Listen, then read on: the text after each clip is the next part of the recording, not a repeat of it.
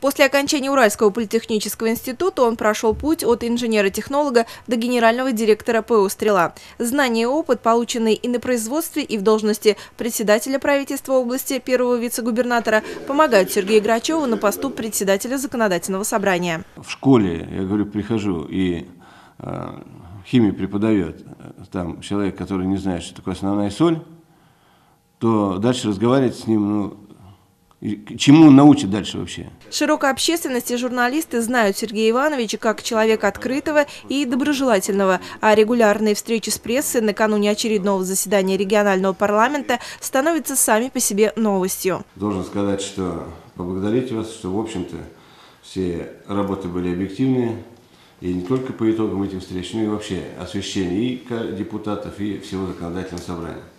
И за это вам хочется сказать спасибо. У Сергея Грачева высокий авторитет среди коллег. В законодательном собрании особенно ценят его умение находить компромиссы и добиваться того, чтобы было принято решение для пользы людей.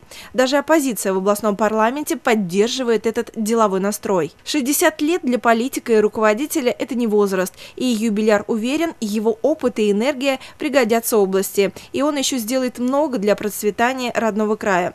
Впрочем, самое большое достижение у него него уже есть. Это его семья, дети и внуки. Елена Давыдова, Новости дня.